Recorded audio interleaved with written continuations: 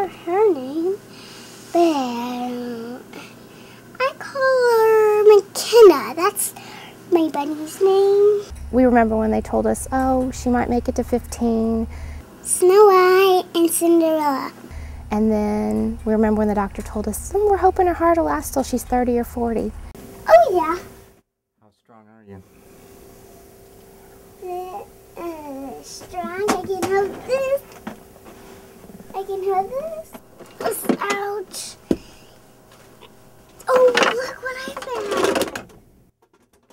Like many of the more than 20,000 kids admitted each year, Makenna has been here before. This was her third major heart surgery.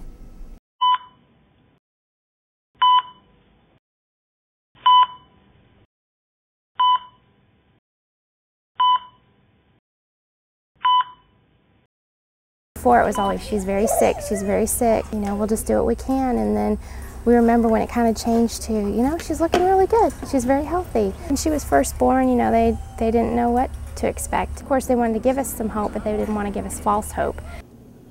Makenna was born with hypoplastic left heart syndrome. The left side of her heart and the aorta carrying blood to her body failed to develop properly. Her aorta was more of a soda straw than a pipe. The architecture of Makenna's heart and plumbing is now far from normal, but it is working well. What color are your eyes? Let me see. Let me see. They're pink with sparkles. No. Uh, From what we could see, everything looked great. You're winning! What are you going to get for winning? Ice cream? Keep winning. She's learning to ride a bike, which is fabulous.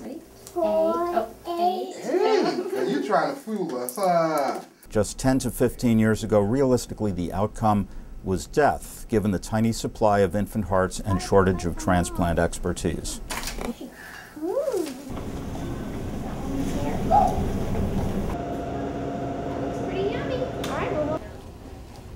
Uh, well, I'm thinking uh, graduation and wedding, and she's talked about having children. I ride my bike all by myself.